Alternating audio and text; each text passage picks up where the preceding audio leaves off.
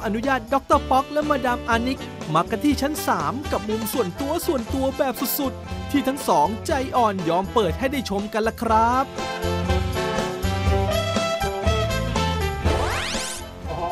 เราจะขึ้นมาถึงชั้นสามได้ต้องออกออกแรงหน่อยนะครับคุณเบสบอร์ดครับครับใช่ครับครับมาจะขึ้นมาข้างบนนี่สัมผัสบรรยากาศแบบแหมสไตล์คลาสสิกย้อนยุคเหมือนอยู่วังโบราณจริงๆนะครับเนี่ยครับอันนี้เป็นชั้นสามนะครับ นี่เป็นชั้น3เป็นห้องนั่งเล่นอ๋อ ที่ปกติจะอยู่ที่นี่เพราะฉะนั้นมันก็จะรกหน่อย ไม่ได้รับแขก มาแล้วก็ไม่ต้องอะไรครับนั่งดูทีวีแหมธรรมชาตินะครับนี่ครัมุบ มมุมอะไรครับอันนี้ครับ ก็เมื่อก่อนที่ยังไม่ขยายกิจการทำงานหนักมากเกินไปก็เคยทำงานตรงนี้บ้างนะคะแต่ตอนหลังนี่ก็เป็นที่วางของเฉยๆไม่ไม่ค่อยได้นั่งทำงานเท่าไหร่ อ๋อแต่ยังเพราะว่ามีห้องทำงานหรือมีตำราค้นคว้าเยอะเลยนะครับ ค่ะ แต่ตรงนี้ส่วนใหญ่เป็นเกี่ยวกับศิลปะเป็นสวนอย่างเงี้ยค่ะอ๋อหนังสือเบา อันนี้เป็นมุมใครครับเมื่อเมื่อก่อนนะครับๆเอ่อร่วมกันไงร่วมกันนะฮะไม่แยกกันอ๋อมุมน่ารักนะฮะครับ ค่ะแต่บอกให้ที่ใช้ประจำคือมุมนี้ครับ ตอนนี้ครับค่ะ ตรงนี้ก็ครับเป็นใช่ครับ ที่นั่งดูทีวีดูทีวี อ๋อในปกตินั่งอะไรเนี่ยดรบิสดรบิสวัสดิ์ผมนั่งอันนี้ อันนี้นั่งอันโน้นโอ้แหมต้องแบ่งมุมกันหน่อยนะครับเพราะอันนี้อันนี้นอนได้คือต่างคนต่างยืดอะไรอย่างเงี้ยค่ะอันนี้มุมที่ใช้ประจำเลยเวลาอยู่บ้านหรือเปล่าครับ ค่ะ แต่ว่าหลังหลังๆสักสองสามปีหลังเนี่ยก็จะเป็นคุณเบสวัสด์อยู่คนเดียว พี่ก็นานๆทีมาที เพราะพี่ทำงานจนดึกดื่นทำทั้งวันทั้งคืนบ้าไปหมด ขออยู่วอลลุ่มอยู่ข้างล่างนะค่ะโอ้โหอยู่บนชั้นบนสุดของบ้าน ใช่ครับ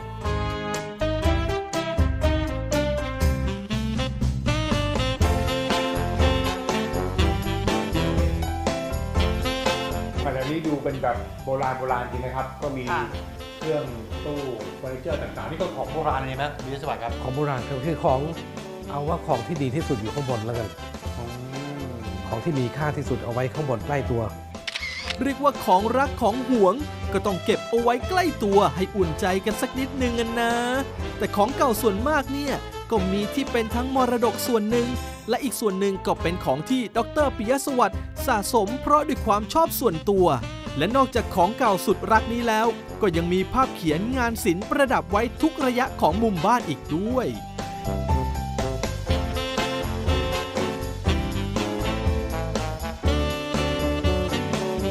ไอ้ไอ้ภาพนี้ไม่ได้ซื้อนะภาพนี้เป็นภาพที่ตาผมเป็นคนวาด ตาคือหม่อมเจ้าสุภสวัสดิ์วงศ์สนิทสวัสดิวัฒน์ท่านชอบเขียนรูปถ่ายรูป เพราะฉะนั้นอันโน้นเป็นภาพกรมพระสวัสดิ์ซึ่งเป็นพ่อของตา อันนี้เป็นภาพของยายหม่อมเสมอ อันนี้ก็ภาพของยาย และอันนี้ก็เป็นภาพถ่ายอันนี้ฝีมือคุณตาท่านหมดเลยเหรอครับ น่าจะเป็นตาถ่ายนะแม่แม่ผมกับสมเด็จพระนางเจ้ารำไพพันนีอืมโหนี่คุณตาท่านเป็นนี่เป็นศิลปินเนยนะฮะครับอืมครับแล้วก็อันโน้นเป็นรูปแม่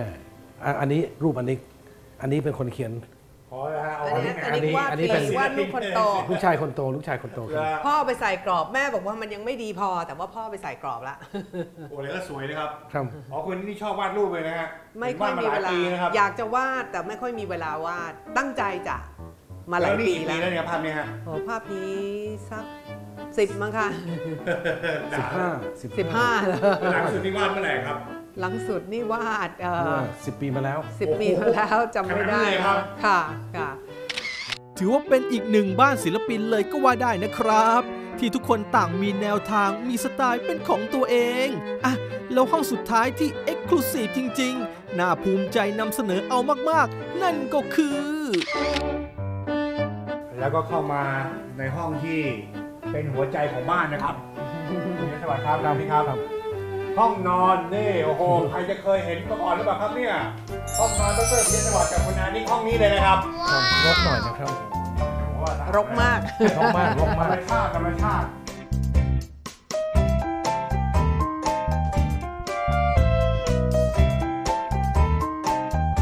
โอ้โหบรรยากาศห้องนอนดรพิยสวัสดิ์กับคุณนิกนี่แบบออกไปมาแบบทึมๆหน่อยนะครับครับ อันนี้เป็นเป็นห้องศิลปินเลยครับคุณนิกครับ ก็แหม คุณกฤษณะว่าทึมได้ไงนี่ออกแดงแดงสดใสนะอ๋อแหมมีงานศิลปะคุณนิกช่วยนี่แหละครับ เพราะอย่างผนังห้องนี่ก็เป็นสีเทาถ้าค่ะผนังห้องนี้ผมเป็นคนทำนะ อันนี้ไม่อยู่ตอนนั้นเธอไปลอนดอน แต่ฉันเป็นคนสั่งสีไม่ใช่ฉันเป็ไม่นคนใช่ไม่เลืได้อกไม่ได้เลือกชัดเจน ผมผมเป็นคนทำๆ อ๋อ นี่ดรวิทยาศาสตร์เป็นคนกำหนดสเปคเลยนะครับว่าต้องสีนี้ใช่ใช่ตอนนั้นเป็นคนทำไมคุมชอบช่างสีเอง เทาครับไอ้เนี่ย ห้องนอนนะครับมันออกม่วงอะนะคะ เทาม่วง แต่มันไม่เร็วนะผมว่าเป็นเป็นสีที่ไม่เร็วออกมาแล้วไม่เร็วเลยอ๋อและรอบห้องนอน ก็รายล้อมไปด้วยงานศิลปะผลงานของอาจารย์ประเทืองเอมเจริญ อาร์ติสชื่อดังที่คุณอานิกชื่นชอบเป็นพิเศษนั่นเองครับ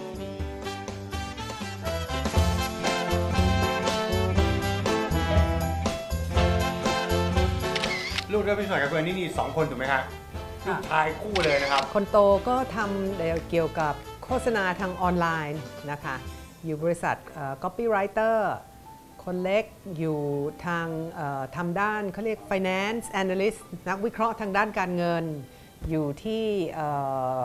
อะไรนะมิตรผลค่ะโอ้ครับก็แล้วงานคนละแบบเลยโตๆแต่ว่าคนละสายนะครับภาษาครับแต่ไม่ได้มาสายพลังงานเหมือนคุณพ่อคุณแม่นะครับไม่มีเลยค่ะแล้วเจอกัน บ่อยแค่ไหนครับในครอบครัวสี่คนพ่อแม่ลูกครับ ต้องทานข้าวด้วยกันทุกวันหรือว่ามาส่งป้าป้ามาม่าเข้าห้องนอนทุกวันครับถ้าถ้าเป็นอย่างนั้นได้ก็ดีนะคะทานทานข้าวบ้างวันธรรมดา แล้วก็เสาร์อาทิตย์ซึ่งเราเราไปกินนอกบ้านเนี่ยก็ก็ชวนไปก็มีไปบ้าง ขนาดกินฟรี กินร้านฟรียังแบบไม่ได้มาทุกครั้งเลยอะ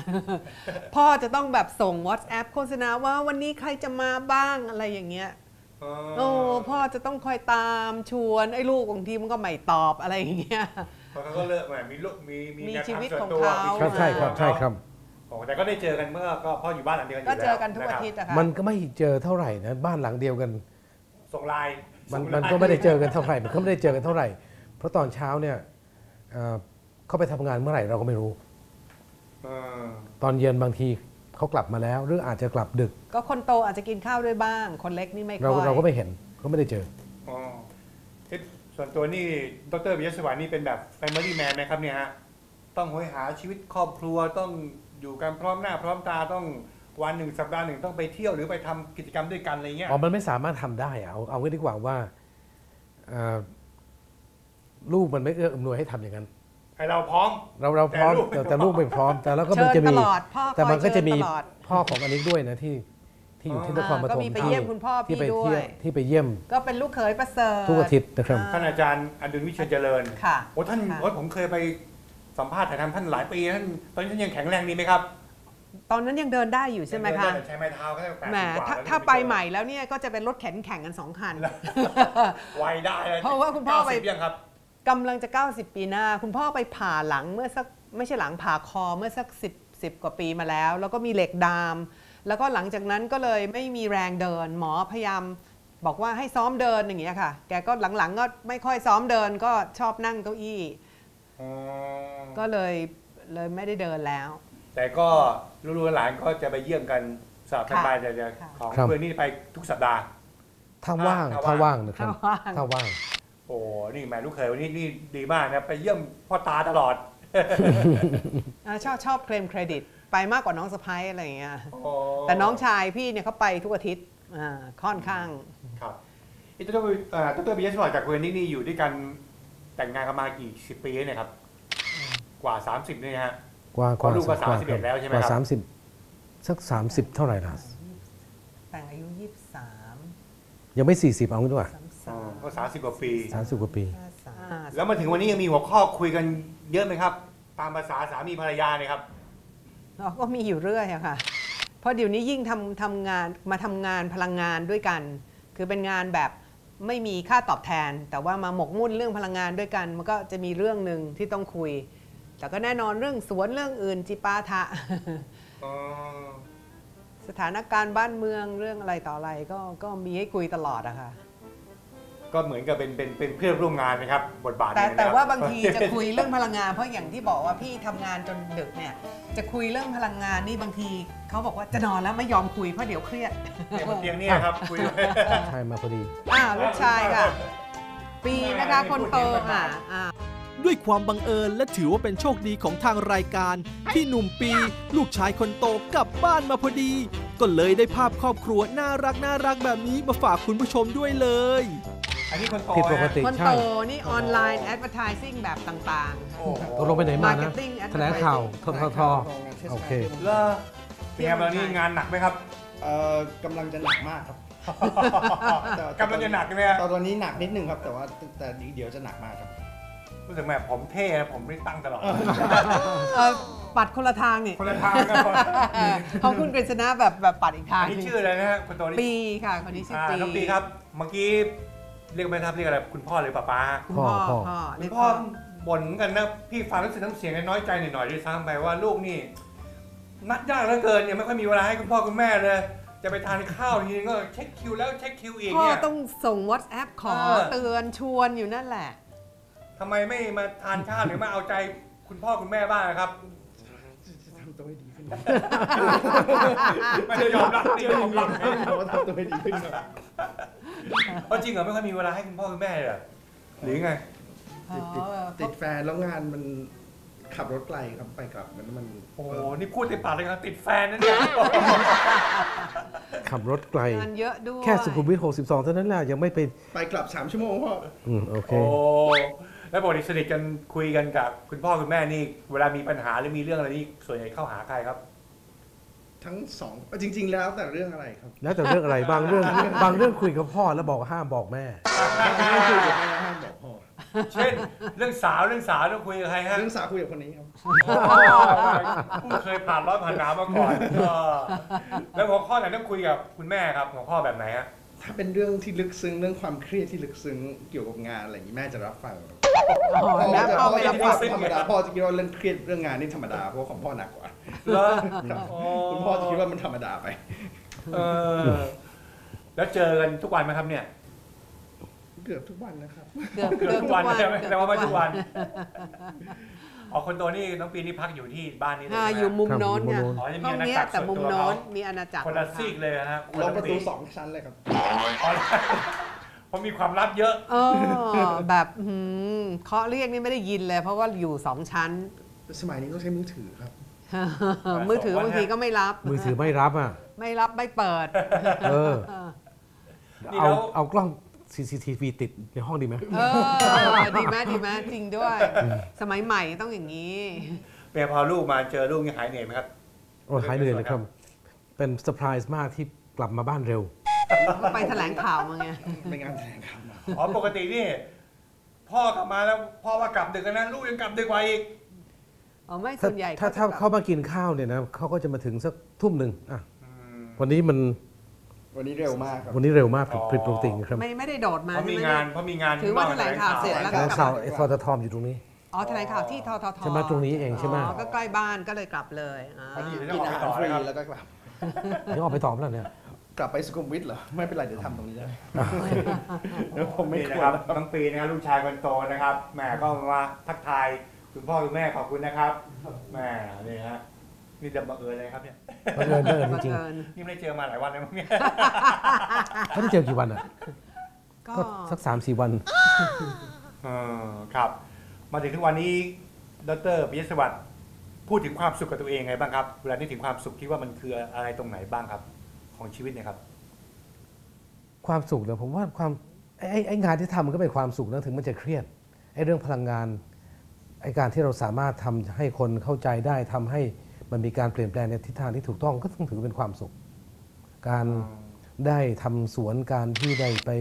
พักผ่อนไปเที่ยวมันก็เป็นความสุข การที่มีลูกที่น่ารักแล้วก็มีความรับผิดชอบมีงานการเป็นเรื่องเป็นราว